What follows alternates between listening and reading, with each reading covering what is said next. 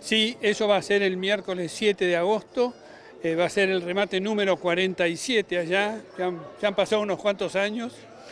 Y bueno, es un remate muy cuidado, muy, muy, muy importante para Corral de Guardia. Vamos a sacar 80 toros este, elite y, y para rodeos. Este, entre ellos va a salir algún premio muy importante que vamos a poner a venta, que no quiero adelantar, pero, pero en fin, estamos pensando alguna cosa muy linda. Y 160 vientres, de los cuales hay muchas madres que son para donantes, vaquillonas elite.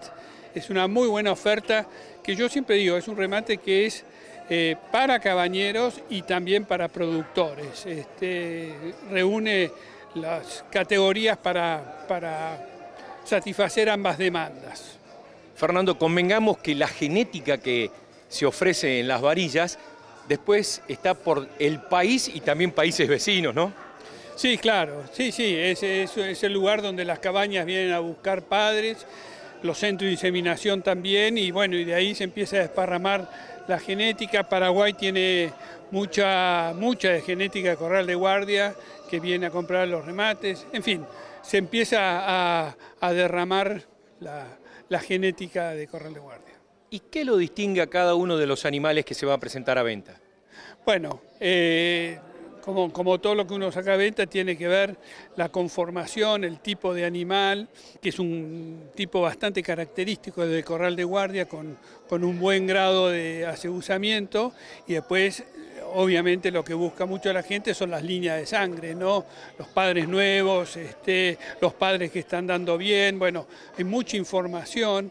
Inclusive este, en este remate vamos a vender por primera vez eh, toros RFI negativos, o sea, la prueba RFI, que es la prueba que mide la conversión de alimentos de los toros, eh, que ya Corral de Guardia tiene ocho pruebas propias hechas, además de las que se hacen con las asociaciones. Eh, bueno, y en este remate van a salir toros RFI negativos, que es toda una novedad. Lo que se busca es que coman menos y ganen más. Eso es para simplificarlo.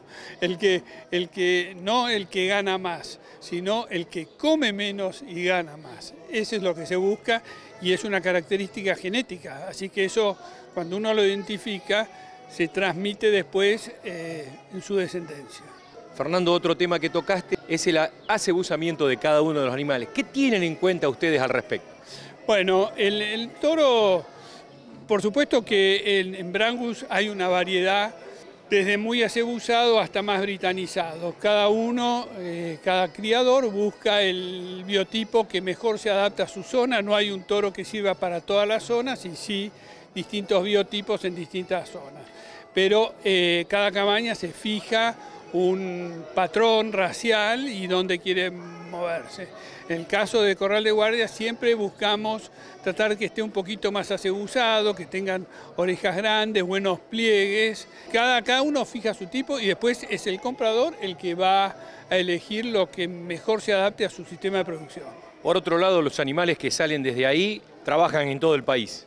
Sí, sí, en todo el país, fundamentalmente en el norte. Hoy el, el Brangus está fuertísimo en el norte y yo te diría el 80%, no, no tanto, pero el 70% va al norte y el resto queda en el centro del país.